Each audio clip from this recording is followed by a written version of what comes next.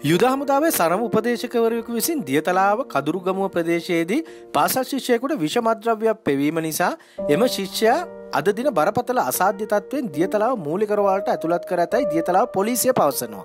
දියතලාව ප්‍රදේශයේ ජනප්‍රිය පාසලක ඉගෙනුම ලබන දියතලාව කදුරුගමුව ප්‍රදේශයේ පදිංචි වයස අවුරුදු 16ක පාසල් ශිෂ්‍යයෙකු මෙසේ අසාධ්‍ය තත්වයෙන් දියතලාව මූලිකරවාලට ඇතුළත් කර තිබෙනවා. මෙම පාසල් ශිෂ්‍යයාගේ පියාද යුද හමුදාවේ සේවය කර විශ්‍රාම ලබා සිටින අතර යුද හමුදාවේ සරඹ උපදේශකවරයා ඔවුන්ගේ හිතවතකු බවද පොලිසිය පවසනවා. මද්‍රව්‍යයක් පෙවීම නිසා අසාධ්‍ය තත්ත්වයෙන් දියතලාව මූලිකරෝහලට ඇතුළත් කළ පාසල් ශිෂ්‍යයා මේ වන විට දියතලාව මූලිකරෝහලේ පහේවාට්ටුවේ ප්‍රතිකාර ලබනවා. මේ පිළිබඳව පාසල් සිසුවාගේ දෙමව්පියන් විසින් දියතලාව පොලිසියට පැමිණිලි කර තිබෙනවා.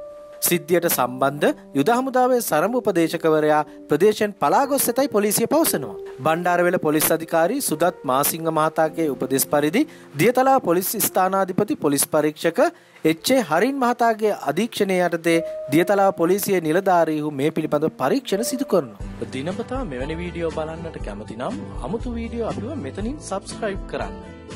බෙල් අයිකන් එක මත ක්ලික් කර අපගේ වීඩියෝ මුලින්ම නරඹන්නටත් එකතු වන්න.